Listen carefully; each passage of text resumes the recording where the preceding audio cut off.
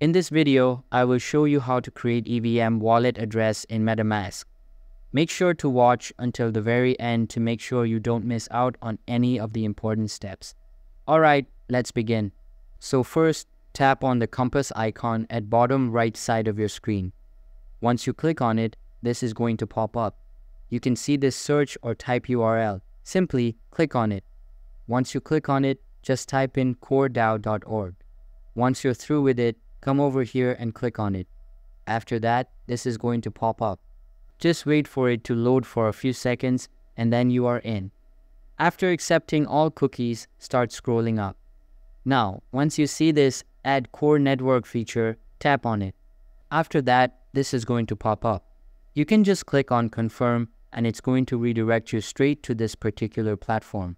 Simply click on Switch Network and this is going to pop up showing you success. And once you're through it on reading everything that is here, just click on Got It. And that's it, you're done.